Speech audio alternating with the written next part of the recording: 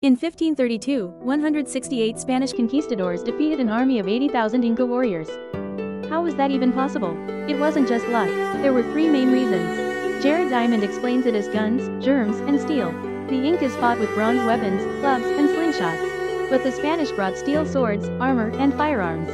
One Spanish horseman armored an army was worth dozens of Inca warriors, and the Spanish didn't just have steel they had horses. Animals the Incas had never seen before. Charging cavalry shattered the Inca lines. But the deadliest weapon wasn't a sword. It was disease smallpox. European germs spread faster than their armies. By the time Pizarro arrived, smallpox had already killed millions, including the Inca emperor. The empire was already weakened. The Inca empire had no writing system. This meant a lack of information. But Pizarro had the accounts of Cortes, who defeated the Aztecs with a small army. The Incas faced an enemy they didn't know, while the conquerors fought an enemy they understood. Guns, germs, steel, and writing are power. The conquerors who possessed them could defeat an enemy 500 times larger.